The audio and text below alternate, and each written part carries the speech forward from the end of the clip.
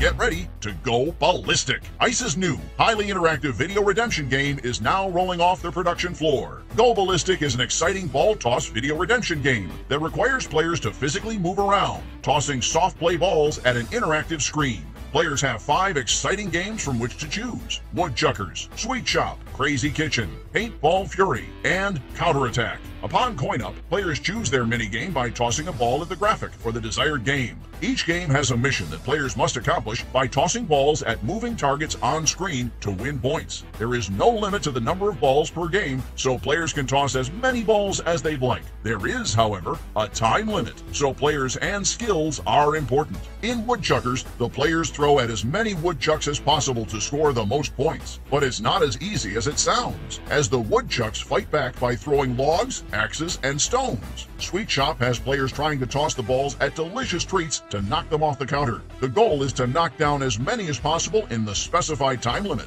But again, gameplay gets tricky as items appear on the counters that shouldn't be broken. Moms won't be cleaning up in Crazy Kitchen, where players attempt to break dishes, appliances, and utensils before time runs out. Paintball Fury has players using their paintballs to knock out enemies without getting hit themselves. And finally, Counterattack has enemies coming in via land and air, and players must take out as many as possible before time runs out. As the coin-op industry slowly moves towards interactive movement-based sport-style games, ICE is ahead of the pack. Go Ballistic combines video game technology with fitness, providing a game that's suitable for the whole family.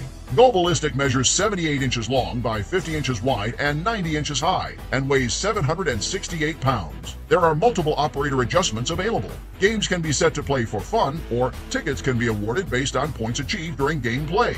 In addition, operators can decide if all five minigames are playable at once, or a location can turn on or off minigames as they'd like. Games come with 40 bright colored soft play balls. Let Go Ballistic provide years of fun for your